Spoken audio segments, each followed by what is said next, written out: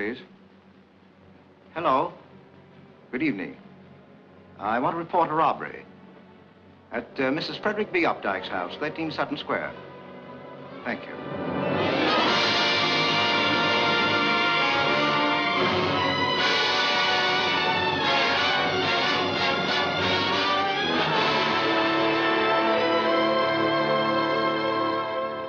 All right, what's your game?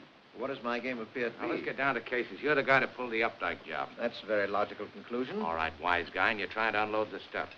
Well, you're catching on marvelously. Okay, Joe, make a deal with this guy. He's getting in my hair. Come on now, let's talk turkey. I can't get over it. You deliberately committing a robbery. Four. Four perfect crimes in four weeks. Hey, get that light off me. What's the idea? Oh, uh, just an accident, old man. Nothing to be upset about. Yeah, well, don't let no more accidents happen. I ain't no guy you can push around like these other dopes. Shut up. My confession won't hold water, but I'm going to keep those coppers entertained until you can get to him. The professor. The Professor. Take that dumb look off your face and listen to me. The professor is plenty hot. Get up to his office right away. Tell him to blow town fast. Get out of the country. Try and keep your eyes open. Look at me. You see me as if you were looking through the wrong end of a telescope. You see the walls of the room waver and sway. In a moment, you will have a sensation of falling in space swiftly. You'll hear a rushing sound in your ears.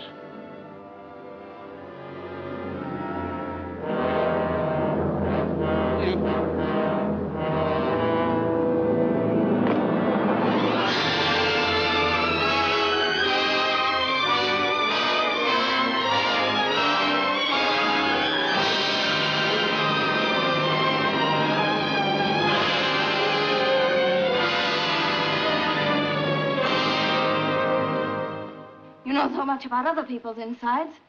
Why don't you put your stethoscope on and listen to my heart? Maybe you'd like a sample of my blood.